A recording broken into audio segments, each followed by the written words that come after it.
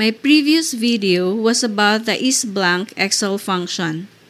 Today, I will introduce to you an alternative to the isBlank formula, which is the if isBlank Excel function.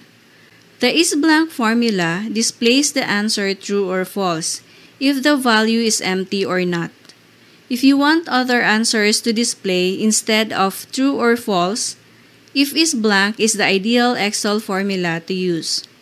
By adding if to the is blank formula, you will have more options on how to display the answer, so that it will be easier for you to read and understand the data. Watch this video to know how.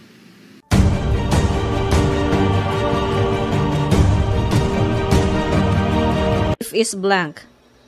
In addition to the is blank formula, you can add if for more options on how you want to display the answer.